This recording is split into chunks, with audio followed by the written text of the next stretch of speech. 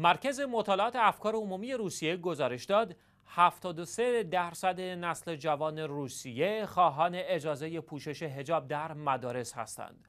بررسی های انجام شده توسط کارشناسان نشان می دهد که نگرش و ارتباط مردم روسیه با ادیان و مذاهب مختلف به طرزی چشمگیر تغییر کرده است.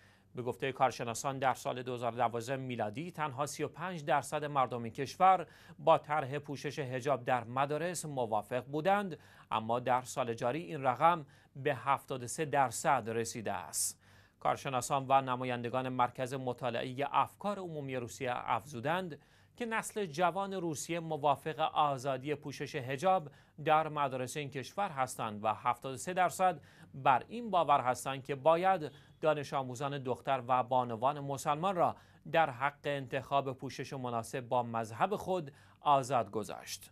گفتنی است که اکثر افراد مخالف پوشش مو و حجاب از سالمندان هستند و در واقع نیمی از مخالفان پوشش مو را افراد بالای 45 سال تشکیل می دهند.